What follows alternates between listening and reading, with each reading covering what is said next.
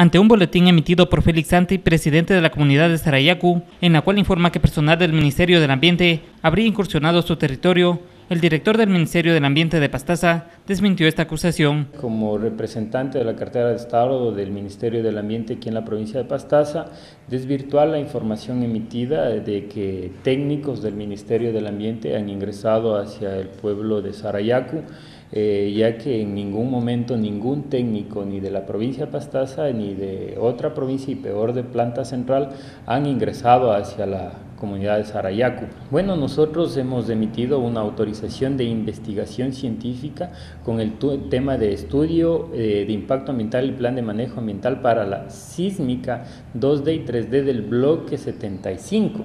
¿sí? Esto lo hemos emitido el 13 de mayo del 2015 eh, a favor de la compañía Entrix. ¿sí? Una compañía que debe ser contratada por Petroamazonas, del cual se... ha o sea, tienen ellos el, el, bloque adjudicado y me imagino que deben haber contratado.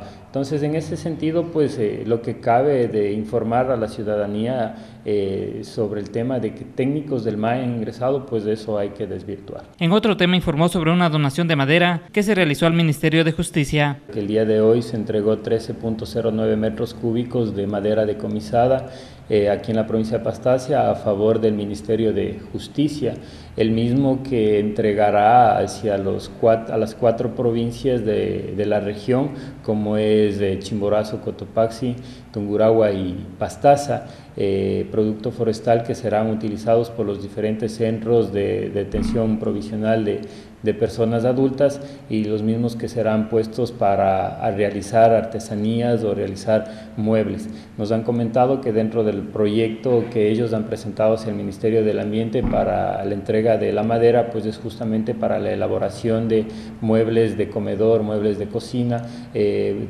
juegos de dormitorio. La madera donada sería cedro. De acuerdo a la normativa forestal, este producto no puede salir en remate, sino directamente a donación a instituciones públicas eh, o privadas que realmente lo necesiten. Como es de conocimiento igual de ustedes, hace aproximadamente unos dos, tres meses se realizó asimismo una donación hacia el MIES de aquí de Pastaza para la elaboración de, de, de cunas y otros muebles que necesitan los diferentes bebés de la provincia. A pesar de los controles, todavía existen personas que intentan aprovechar este producto forestal. Producto forestal que se encuentra en veda, eh, ustedes saben de que existen ciudadanos que lastimosamente no hacen conciencia todavía del, no, del, tráfico, del transportar madera que se encuentra en veda, en este caso es cedro, pues lo mismo que esta cartera de Estado en su control diario pues ha procedido a la retención y al decomiso de la misma. Informó para Sonovisión Pablo Lascano.